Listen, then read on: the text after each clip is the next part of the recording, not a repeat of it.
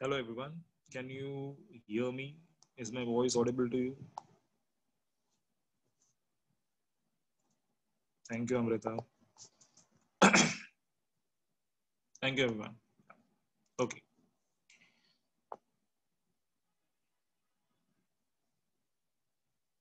Okay. Okay, in the last lecture, we started with chapter number four, that was structure of ocean floor. Am I correct? हमने chapter number four चालू किया था good evening हमने chapter number four चालू किया था yes okay तो I'll ask, I'll ask some questions regarding what we did in the last lecture. You need to answer that फटाफट then we'll continue with the chapter. छोटा सा पार्टी बच्चा चैप्टर का ज़्यादा नहीं uh, the first thing is uh, which type of landform beneath the ocean has an economical importance जहाँ पे फिशिंग भी होता है और जहाँ पे मिनरल्स भी मिलते हैं ऐसा कौन सा टाइप का ओशन फ्लोर है yes the first answer was given by Umar from Chembur that is continental shelf the correct answer is continental shelf Ria you're wrong answer is continental shelf याद हमने पढ़ा था कॉन्टिनेंटल शेल्फ में आपको minerals भी मिलता है that is mineral oil and natural gas as well as it is अब फॉर फिशिंग या ठीक है? Okay what is the depth of continental what is the average depth of continental shelf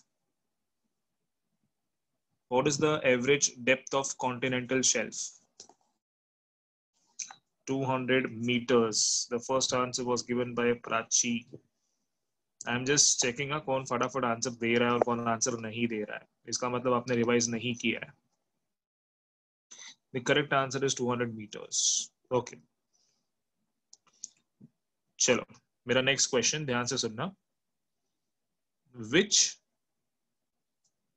type of ocean floor marks the boundary of continents मतलब यहाँ पे continent खत्म हो जाता है। Yes the correct answer is continental slope the first answer was given by Prachi that's good अभी सबका answer आ रहा है। Continental slope yes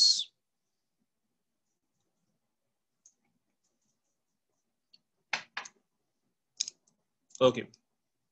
which is the deepest trench and where it is located which is the deepest trench and where it is located okay तो पहला complete answer दिया है Omar from Chembur Mariana Trench and Pacific Ocean the answer is Mariana Trench and it is Pacific great Okay. Next question. Next question. What is the depth of Mariana Trench?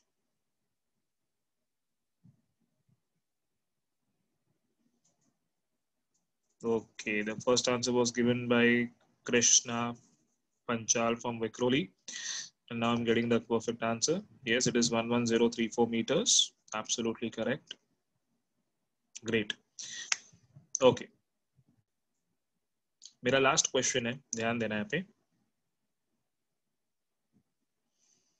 Last question is कौन से दो ocean floor के बारे में मैंने अभी बात नहीं किया? We spoke about continental shelf we spoke about continental slope and we spoke spoke about trench and deeps तो कौन सा दो लैंडफॉर्म बच गया अभी, जिसके बारे में हमने बात नहीं किया अभी?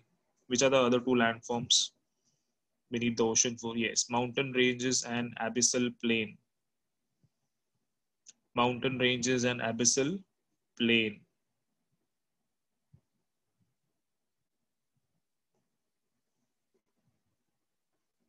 Great.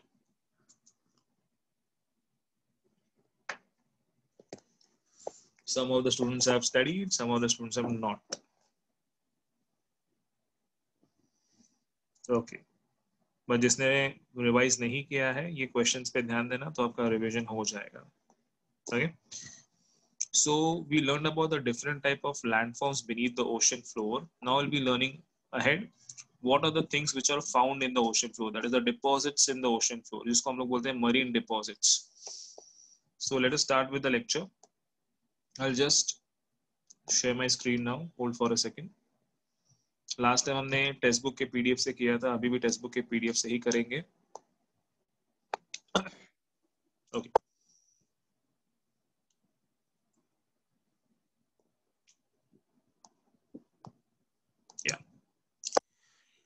So we started with chapter number four.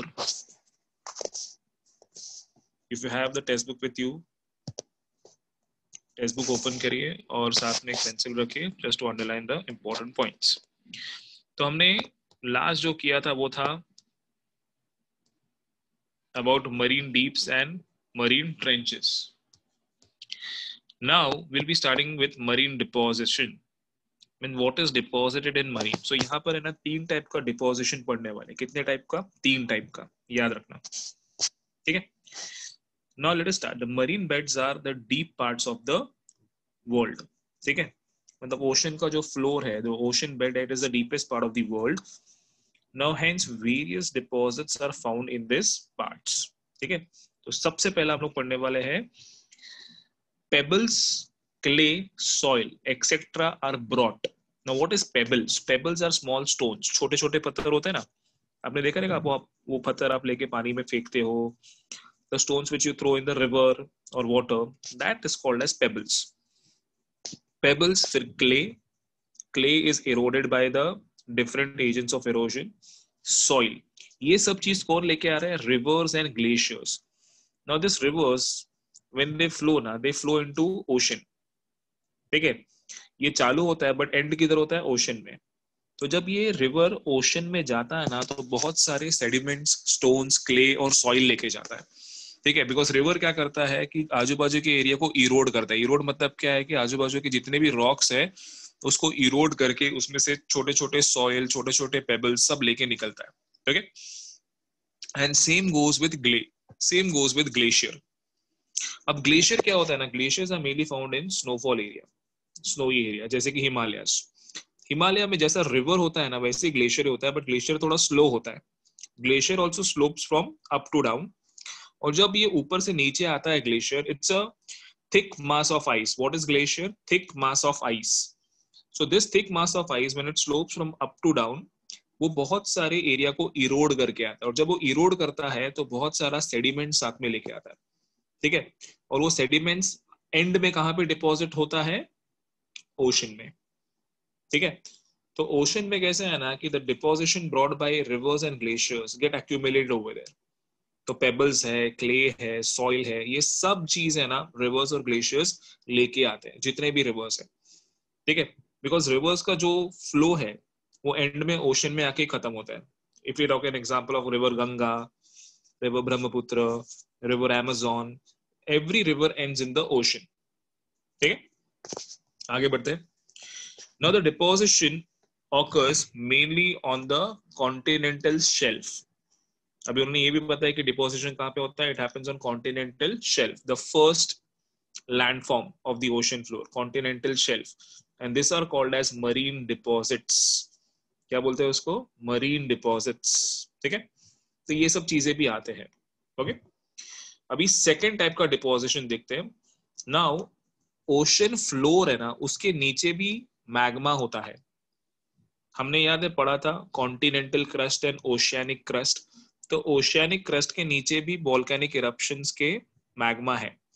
तो वो जो मैग्मा इरप्ट होता है, या जो वॉल्केनिक इरप्ट होता है ओशन फ्लोर के नीचे तो उसमें से जो मैग्मा निकलता है when it comes out it turns into lava अब ये जब लावा निकलता है, और उसके साथ सिर्फ़ लावा नहीं निकलता, उसके साथ एश निकलता है, उसके साथ मिनरल्स निकलता है, उसके साथ डस्ट निकलता है, और ये सब चीज़ है ना ओशन फ्लोर पे ओशन फ्लोर के सरफेस पे जाके वो लोग सेट हो जाते हैं।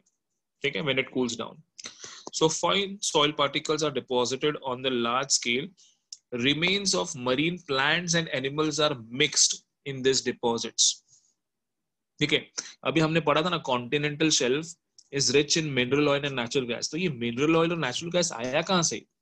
ये जितने भी रिमेन डिकेड एनिमल और प्लांट के जो रिमेन्स है, वो बहुत साल बहुत साल तक वो डिकम्पोज होके डीके होके कंप्रेस होके, वो it turn into mineral oil ठीक है? It turn into natural gas इसके लिए तो हम लोग मिनरल ऑयल और नेचुरल गैस को फॉसिल फ्यूल बोलते हैं। Why it is called as fossil fuel because it is made from the decomposition of plants and animals which is there for million of years तो अभी जो हम लोग mineral oil और natural gas use कर रहे हैं, ये बहुत साल लगे उसको बनने के लिए।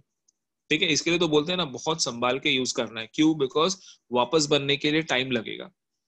ठीक है? तो आपको ये जो है ना मिडल ऑयल नेचुरल गैस ज़्यादातर आपको पानी के नीचे सी बेड पे ही मिलेगा एक्सट्रैक्ट करने से बिकॉज़ यहाँ पे बहुत ज़्यादा डिपोजिशन हुआ है of dead remains of plants and animals brought by rivers and which is there in the sea also ठीक है? Okay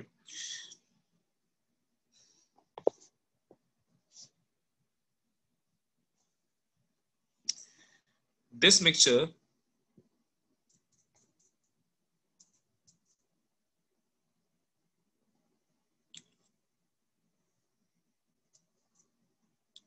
on a large scale. Remains of marine plants and animals are mixed in these deposits and this mixture is made up of fine particles and lies in the form of fine clay. Okay.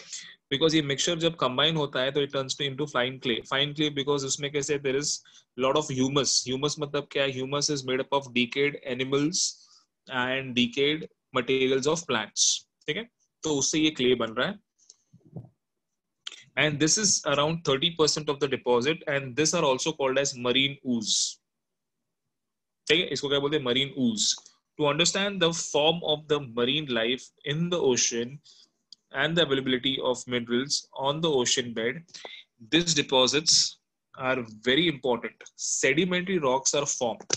अब sedimentary rocks कैसे बनता है? Just a second, huh? hold for a second.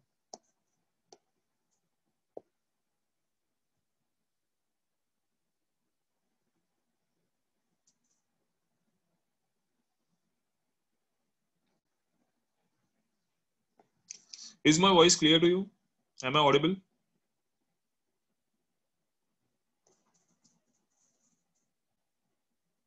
Todo bien.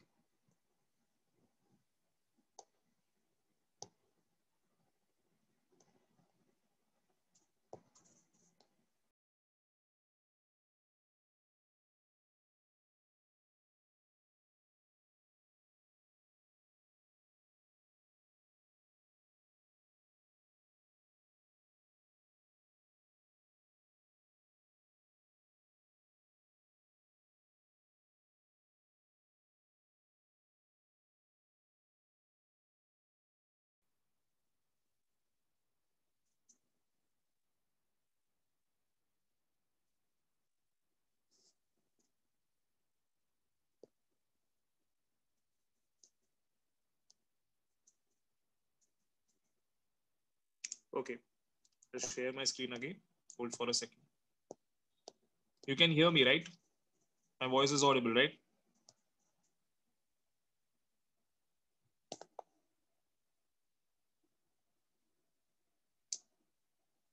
Okay.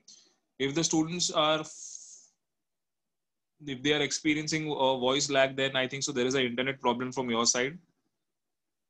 So please log out and log in again. ठीक है? Okay let us continue with the chapter now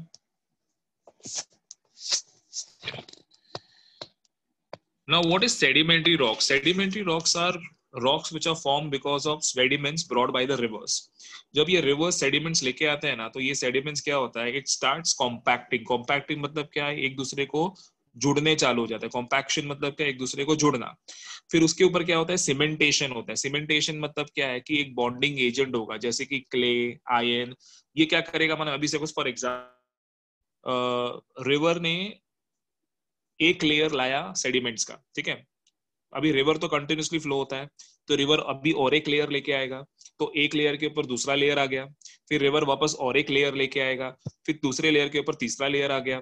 तो ऐसा तीन layer बन गए। अब ये तीन लेयर अलग अलग है बट क्या होगा? धीरे धीरे ना ये तीन लेयर एक दूसरे को चिपक जाएगा। इसको बोलते हैं कॉम्पैक्शन ठीक है? Because of the pressure of the sea water अब अभी बोलते रहेंगे, सर, क्यों एक दूसरे को चिपकेंगे? Because of the pressure of the sea water ठीक है? अब वो चिपक गए तो अभी आपको कैसे कि अलग नहीं होने वाले। अभी क्या होगा मालूम है क्या? इसके ऊपर है ना अभी सीमेंटेशन होगा। सीमेंटेशन मतलब क्या है कि बॉन्डिंग एजेंट आएगा। ठीक है? वो क्ले हो सकता है, वो सिलिका हो सकता है, वो आयन हो सकता है। तो बॉन्डिंग एजेंट आने के बाद में ना आपको ऐसे लगेगा कि एक पूरा रॉक है। ठीक है? अब अभी ऐसा नहीं बोल सकते कि अलग अलग तीन लेयर है। At the end you'll see like a one rock and this one rock is called as sedimentary rocks ठीक है? sedimentary rocks are mainly formed because of the deposition brought by rivers and glaciers. Okay? अच्छा ये हो गया natural अभी कैसे है ना कि ह्यूमन इंटरवेंशन भी होता है। ह्यूमन इंटरवेंशन मतलब ह्यूमन इंटरफेरेंस ठीक है? ये भी होता है।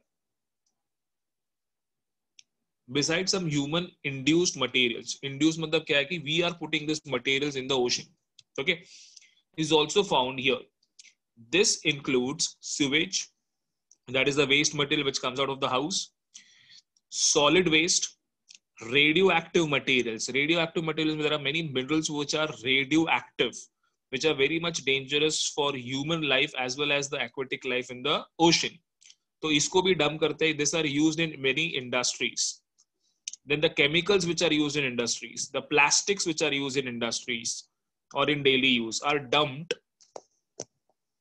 are dumped in the ocean now, हमको ऐसा लगता है कि ये ओशन बहुत बड़ा है तो अफेक्ट नहीं करेगा।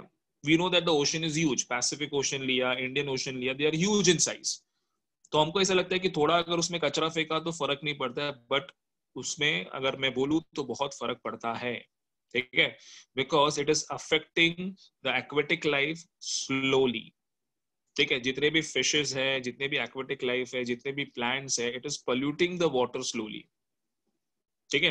तो ये नहीं होना चाहिए। It is our responsibility that we should not put unwanted materials in the ocean ठीक है? It will affect the life it will affect the environmental balance also ठीक है? सिंपल है। आपको मैं एग्ज़ाम्पल देता हूँ। The plastics which we throw in the water ठीक है? जो प्लास्टिक्स हम लोग पानी में फेंकते हैं ओशन में फेंकते हैं it is consumed by the fishes in the water ठीक है? And later on this fishes are caught by the people and they are consumed by the people so indirectly that plastic which we throw it is indirectly consumed by us at the end and it affects us also so इसका effect कम है but इसका nuisance value सबसे ज़्यादा है ठीक है So this is the reason that we should not do this. Natural deposition is good, but जो human interference हो रहा है जो हम लोग फेंक रहे पानी में that is not good. Okay? तो यहाँ पे हमने डिपोजिशन का पार्ट कवर कर लिया। Okay okay? हमने तीन टाइप का डिपोजिशन देखा। सबसे पहला था deposition done by rivers and glacier दूसरा था through lava and third one is human interference जो हम लोग फेंक रहे हैं। ठीक है? ओके अभी यहाँ पे देखो ये एक्स्ट्रा जो कलर बॉक्स दिया है always remember let is go through this now what is mean sea level यहाँ पे उन्होंने बताया कि एक्स्ट्रा नॉलेज है what is mean sea level अभी मीन सी लेवल मतलब क्या है कि कोई भी प्लेस का हाइट अगर आपको जानना है तो वो मीन सी लेवल से ही मेजर होता है। ठीक है? मतलब माउंटेन का हाइट अगर आपको मालूम करना है तो मीन सी लेवल से उसको मेजर करते हैं। प्लेटो का हाइट अगर आपको जानना है तो मीन सी लेवल से करना है। Mean level mean sea level मतलब क्या है? The lowest surface of the ocean is called as mean sea level. Elevation or depth of any place is measured from the sea level, the average of higher, highest high tides and the lowest low tides is considered as sea level. This average is taken to be zero. Okay. और जो भी है for example Himalayas अभी हिमालयास में mount Everest है तो mount Everest का height है 8848 मीटर्स तो उसका हाइट कहाँ से मेजर किया है मीन सी लेवल से ठीक है मरियाना मरियाना ट्रेंच का डेप्थ है one one zero three four metres तो उसका डेप्थ कहाँ से मेजर किया है? फ्रॉम मीन सी लेवल अपने इंडिया में मीन सी लेवल कहाँ से कंसिडर करते हैं? There is a place in Chennai Chennai में देर इज़ अ प्लेस वहाँ से we consider the mean sea level Chennai is consider to be zero and the elevation of any place देखो last में लिखा है in India is measured with reference to this mean sea level ठीक है? तो depth और height दोनों भी मीन सी लेवल से होता है। हाइट पॉजिटिव में होता है डेप्थ नेगेटिव में होता है। इसके लिए देखो, मरियाना ट्रेंच के यहाँ पे लिखा है, देखो minus one one zero three four metre because depth is always in negative ठीक है? क्योंकि नीचे जा रहा है माइनस में जा रहा है। Okay okay? और हाइट पॉजिटिव में होता है, इसके लिए वहाँ पे कुछ लिख लिखते हैं we just write eight eight four eight metres ठीक है? So every place is measured the height of the और द अल्टीट्यूड और the depth of the place is measured taking mean sea level into consideration ठीक है if you see this diagram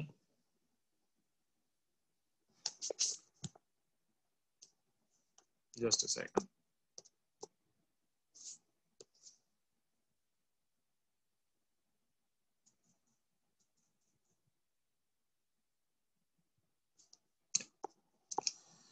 if you see this diagram we'll understand the mean sea level एक में height दिया है और एक में डेप्थ दिया है तो फ़र्स्ट डायग्राम जो है, उसमें हाइट बताया है मीन सी लेवल का, और सेकंड इसमें भी हाइट और डेप्थ दोनों बताया देखो माउंट एवरेस्ट भी बताया है, और मरियाना ट्रेंच भी बताया यानी सी द सी लेवल ये सी लेवल से 8848 मीटर का हाइट है माउंट एवरेस्ट का। और राइट हैंड साइड में मरियाना ट्रेंच इज़ 11034 का डेप्थ है फ्रॉम मीन सी लेवल ठीक है? So here this chapter ends, that is structure of ocean floor. अच्छा what is sediment? Sediment is a latin word जिसको हम लोग बोलते हैं sedimentum. Sedimentum मतलब to settle. तो क्या होता है मालूम है क्या? रिवर्स जो रॉक्स को इरोड करके जो सॉइल लेके आता है ना, वो एक जगह पे आके सेटल हो जाता है। इसके लिए उसको बोलते हैं sediments sediment is derive from a Latin word called sedimentum and sedimentum का मतलब है to settle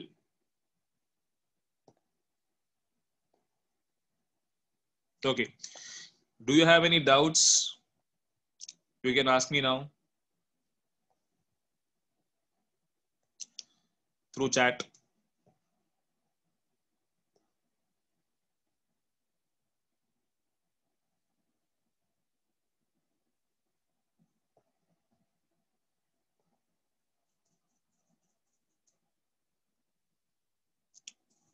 what is manga? M a n g a. Where you saw this manga?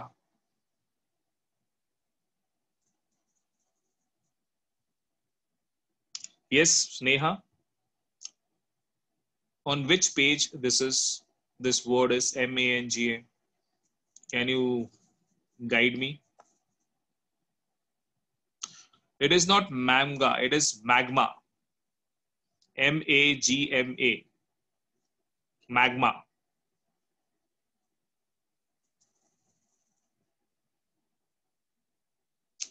Magma is the hot molten material which is found inside the earth in mantle.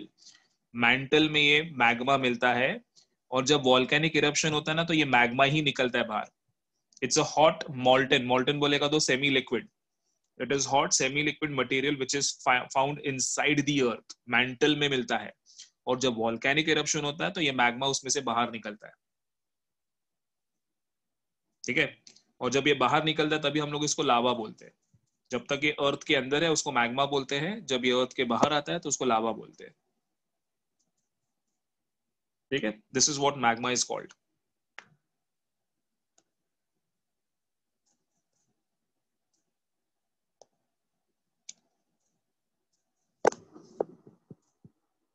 okay okay, अभी है ना आपका homework क्या है मैं आपको बताता हूँ एक बार फिर हम लोग आगे बढ़ते हैं।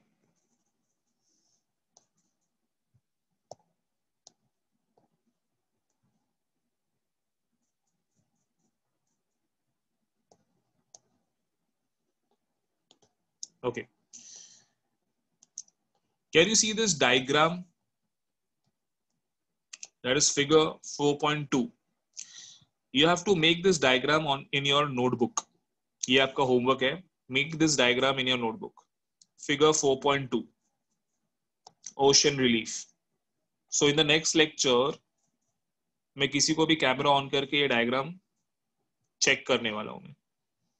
So make this diagram in your notebook ठीक है? और वो प्रेजेंटेबल होना चाहिए डिसेंट होना चाहिए, कैसे भी नहीं बनाने का. ये ओशन फ्लोर का डायग्राम आपको बनाने का yes figure 4.2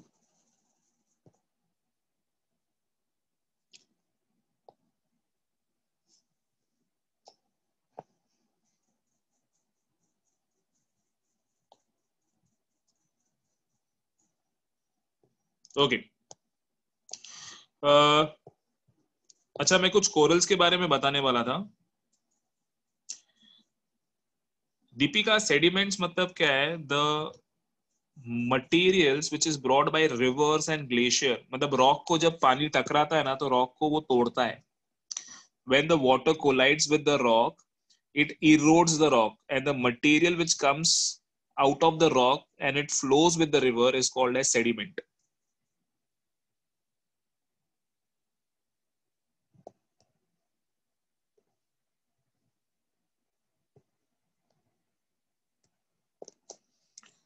Okay, I hope you got the correct information, Deepika. When the river flows, it collides with the rock and it removes particles from the rock. And these particles, they accumulate at a certain place and they are called as sediments.